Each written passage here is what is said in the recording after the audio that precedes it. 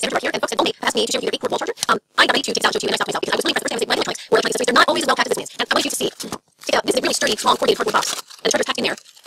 Even through the package, there's plenty of cushioning. There's spacing. This is all cushioning. There's a charger underneath. This charger is really plenty of This is the side. Take a look at this. The charger itself. Not used one before. We have one. We actually got one in our last home. We mounted on the wall. It was a. All five of us have. Each one each have at least one personal electronic device. Have. We share devices. And my places to charge these things. Um, this sort of charger, you can plug in uh, multiple devices at once. Now, this is amazing to be able to charge eight devices at the same time. And this Volmate charger is unique in that each one of these is, is intelligently designed, designed to recognize the device you're plugging in to charge it at its maximum speed. And there's also a soft blue LED light next to each one of these ports that goes on when your device is charging. And the individual device is fully charged. That light will go